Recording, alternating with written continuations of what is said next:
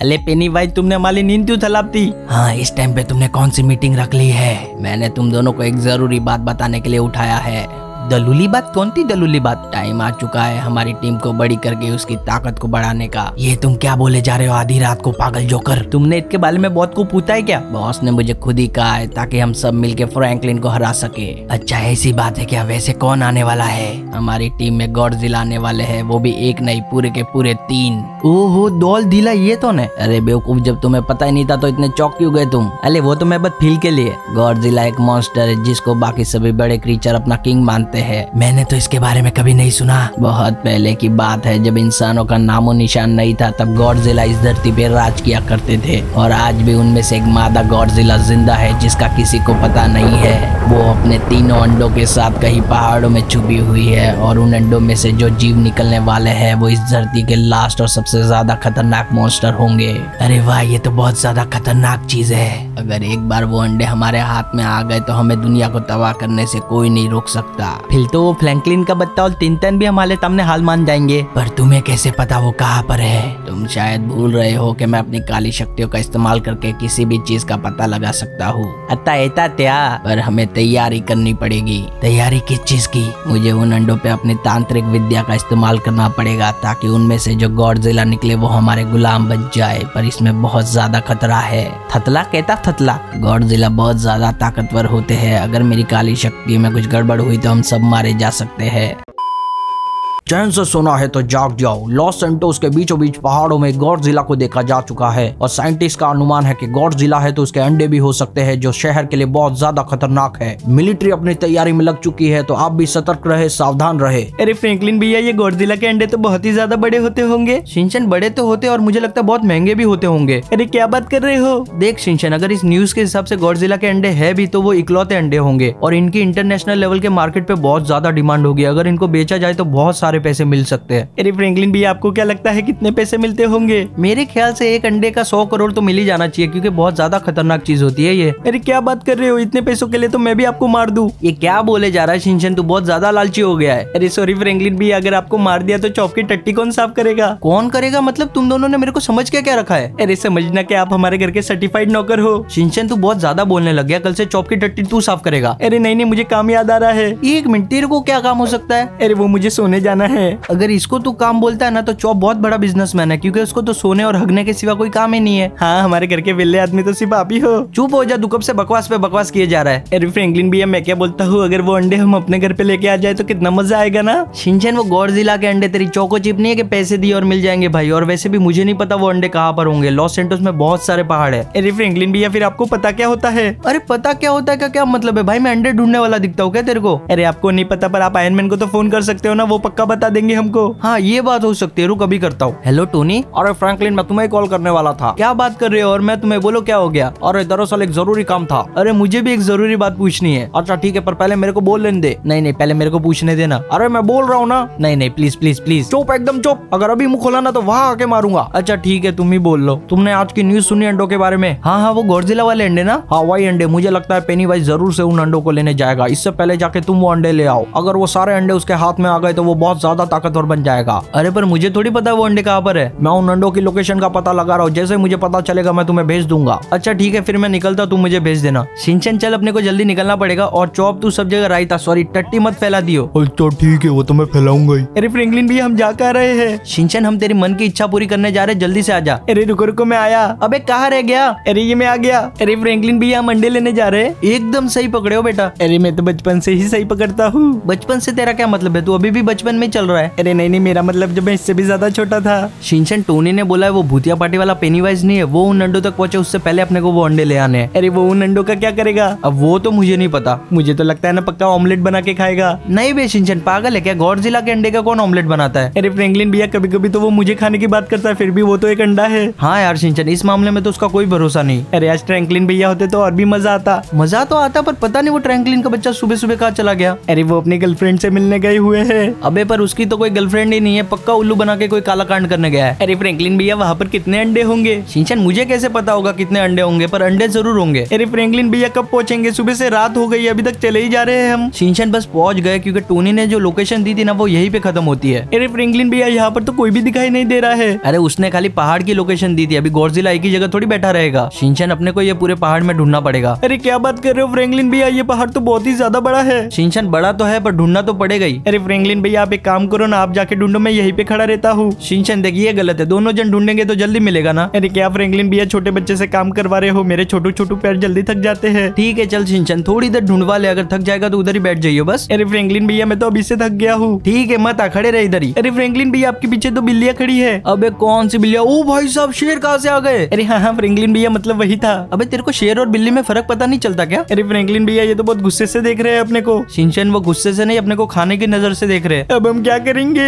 Shinchan डर मत मैं जैसे तीन गिनूँगा ना सीधा इनको बंदूक से उड़ा दियो। एक दो और ये तीन। ये ले मैं तेरे को बिल्कुल नहीं छोड़ूँगा। ओ भाई साहब अबे मर भी जा। चलो यार गाइस फाइनली मर गया। अबे शिनचैन रुक जा वो मर गया है। अरे रुको फ्रैंकलिन भैया अभी भी मारने दो कहीं गलती से उठ गया तो। अब क्या आत्मा भी मारेगा उसकी? ठीक है शिनचैन तू यही पे रुक मैं जाके ढूंढ के आता हूँ। अरे फ्रैंकलिन भैया आप मेरे साथ गेम मत खेलो आपको पता है मैं डर गया हूँ इसलिए आप ऐसा बोल रहे हो। भलाई का तो जमाना ही नहीं रहा मैं तो तेरे को ऑप्शन दे रहा था। चल अभी ढूंढवाने में मदद करवा फिर। गाइस वैसे किसी जानवर को नुकसान पहुंचाना नहीं चाहिए अगर आपको खतरा महसूस हो तभी आप वो कदम उठाए जो आपको सही लग रहे हो। अरे फ्रैंकलिन भैया रुको ना मेरे लिए थोड़ा स्लो चलो। शिनचन ये किसकी आवाज़ आई? अरे फ्रैंकलिन भैया कहीं कोई और जानवर ना आ गया हो। शिनचन ये आवाज़ जानवर की तो नहीं लग रही थी। फ्रैंकलिन भैया मुझे तो डर लग रहा है मैं तो बोलता हूँ यहाँ से वापस चलते हैं। ओ भाई साहब यहाँ क्या चल रहा है? शिनचन जरा इधर तो आइयो। अरे फ्रैंकलिन भैया कहीं आपने भूत तो नहीं देख लिया ना? शिनचन देखा तो भूत ही है पर ये अपने जान पहचान वाला है। अरे इससे क्या मतलब बनता है आपका? अरे मतलब नीचे पेनीवाइज अपनी पूरी टोली लेके खड़ा है। अरे फ्रैंकलिन भैया ये तो किसी गौरजिला को मार रहे हैं। शिनचन मुझे लगता है ना ये उन अंडों की माँ होगी। ये ले ये ले। आज तो ये गौरजिला हमारे हाथ से नहीं बचेगी। अरे दौल दिला नहीं, गोल दिली। गौरजिली अभी ये क्या होता है? अरे ये मेल नहीं है फीमेल है फीमेल अपनी बकवास बंद करो और इसको मारने में ध्यान दो। वाह, क्या बात है। आखिर में ये तीनों अंडे मेरे हाथ में आ ही गए। बेटे पेनीवाइज इनका कलर अलग अलग क्यों है? क्योंकि इन तीनों में से जो गॉडजिला निकलेंगे, उन तीनों की अलग अलग पावर है। एक आइस गॉडजिला एक फायर गॉडजिला और एक ड्रैगन गॉडजिला है। और ये तीनों ही अपने आप में महाशक्तिशाली है। अतः हम इन तीनों में से एक का ऑमलेट बना के खा सकते क्या? अरे मूर्ख, पागल हो गए हो क्या? जब ये तीनों गॉडजिला आपस में मिलते हैं तो ये दुनिया खत्म कर सकते हैं। वाह क्या बात है अब तो बॉस हमसे बहुत ज़्यादा खुश हो जाएँगे।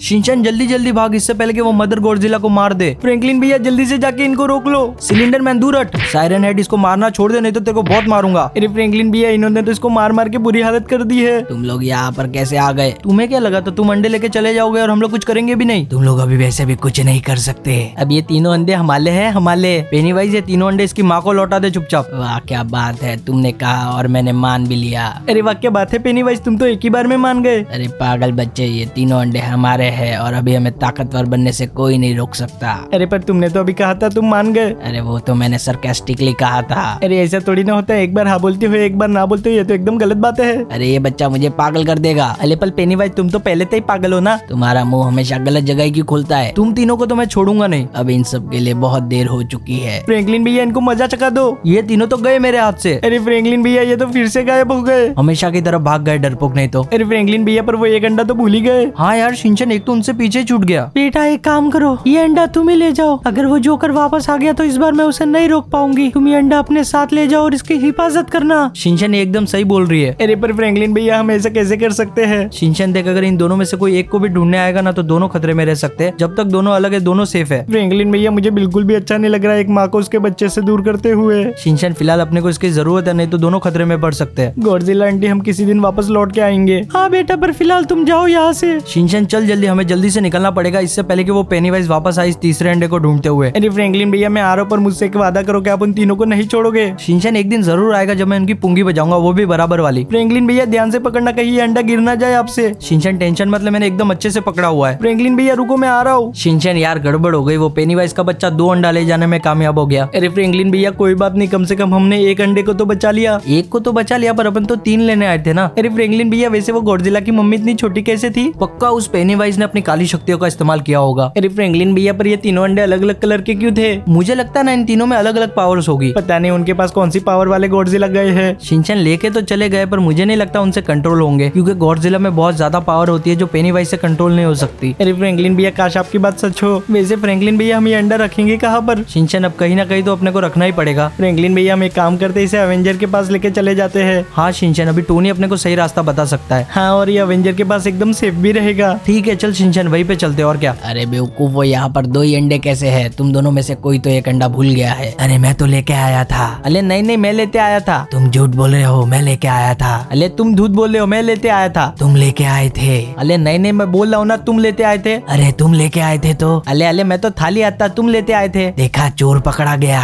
अले तित सिलेंडर मैन तुमसे कोई काम ढंग से होता है या नहीं? पेनी वाइट प्लीज़ बहुत को मत बताना ना प्लीज़ प्लीज़ बॉस को तो पता चलेगा ही। अरे प्लीज़ ना मैं तुम्हारे तल की मालिक करूँगा अच्छा ठीक है फिर नहीं बताता। पेनी वाइज तुमने तो कहा था जब तक ये तीनों अंडे आपस में नहीं मिलते हम सबसे ज़्यादा ताकतवर नहीं बन सकते। कोई बात नहीं कम से कम हमारे पास दो अंडे है। अभी भी वो हमसे ज़्यादा कमज़ोर है। अले पेनी वाइज इनमें से बच्चे कब निकलेंगे? जैसे ही मेरी जादुई प्रक्रिया पूरी हो जाएगी इनमें से बच्चे निकल जाएँगे। पेनी वाइज ये बाहर आते अपनी माँ को ढूंढेंगे फिर हम क्या करेंगे? एक बार बस मेरा जादू खत्म हो जाए, उसके बाद इनकी माँ और बाप दोनों ही मैं होऊँगा। अले क्या बात कर लो तुम अपना देंदल भी तेंदल तकते हो? अरे, बेवकूफ़, मेरा मतलब है ये मेरे काबू में आ जाएँगे। तो फिर अपनी प्रक्रिया शुरू करो। वो प्रक्रिया मैं किसी भी समय पर शुरू नहीं कर सकता। तो फिर कब करोगे? सूरज की पहली किरण के साथ मैं अपनी प्रक्रिया शुरू करूँगा। बस अब थोड़ा ही समय बचा है। अले हाँ मुझे तो लगता है तुलद निकलने ही वाला होगा। वैसे पेनी वाइज वो कौन सा वाला अंडा लेके गए? वो आइस गॉडजिला वाला अंडा लेके गए है। अले, याल, अब